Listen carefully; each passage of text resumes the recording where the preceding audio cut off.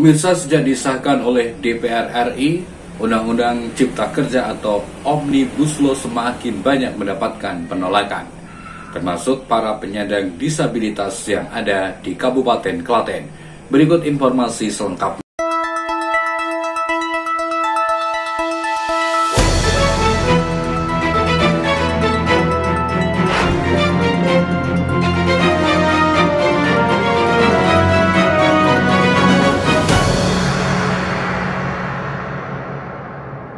Undang-Undang Cipta Kerja atau Omnibus Law yang baru saja disahkan oleh DPR RI semakin banyak mendapatkan penolakan. Dinilai meresahkan warga terutama para buruh penyandang disabilitas. Paguyuban Penyandang Disabilitas Klaten PPDK juga menyuarakan penolakan terhadap undang-undang tersebut. Sekretaris Paguyuban Penyandang Disabilitas Klaten Sriwidodo ditemui di sela-sela rapat kerja Paguyuban mengatakan penolakan terhadap pengesahan undang-undang tersebut selain disuarakan oleh PPDK Klaten juga disuarakan oleh para buruh penyandang disabilitas di seluruh Indonesia. Diharapkan pemerintah tidak mengesahkan undang-undang cipta kerja ini. Hal ini dapat menjadi masalah baru bagi para penyandang disabilitas. Jadi ini memang apa ya menjadi salah ini kegalauan kami, kegalauan kami. Jadi e, menurut menurut yang kami baca ya bahwa undang-undang cipta kerja ini kan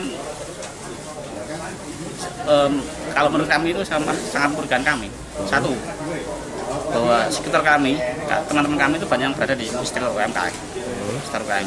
Banyak banyak juga teman-teman yang berada di e, pabrik atau di anu, salah satu sebabnya ketika pabrik, pabrik itu bisa e, memberhentikan pekerja dengan alasan disabilitas itu kan menjadi hal yang sangat bagi kami sangat ya, terus kalau kami diizinkan seperti apa ya sangat kami makanya kami juga di, di pekerja kami di Jakarta sana yeah. tapi juga mencoba untuk berjuang bagaimana cipta kerja ini uh, tidak disahkan atau di, di, di, di, di, di kembali kajian kembali Berarti sangat menolak ya Pak ya? Kami sebenarnya menolak.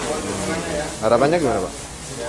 Harapannya bahwa karena kan Cipta Kerja juga menyediakan akses di perusahaan, hmm. menggunakan kemudahan akses di perusahaan. Padahal akses di perusahaan itu menjadi akses bagi kami. Kalau perusahaan tidak akses bagi kami, bagaimana kami bisa bekerja?